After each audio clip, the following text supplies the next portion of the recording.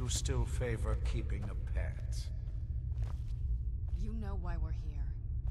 Of course I do. You disappoint me, Serana. You've taken everything I provided for you and thrown it all away for this pathetic being. Provided for me? Are you insane? You've destroyed our family. You've killed other vampires, all over some prophecy that we barely understand. No more. I'm done with you. You will not touch him. So, I see this dragon has fangs. Your voice drips with the venom of your mother's influence. How alike you've become. No. Because unlike her, I'm not afraid of you. Not anymore. And you.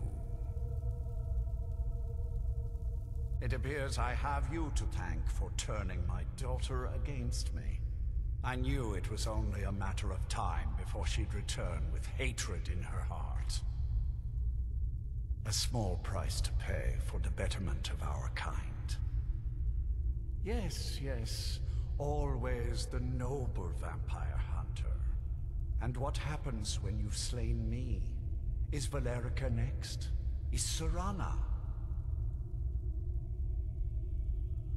I see. Interesting that you can set aside your morals when it suits you. Yes, quite. I'm growing weary of speaking to you and my traitorous daughter. I'll give you a single chance to turn over the bow to me.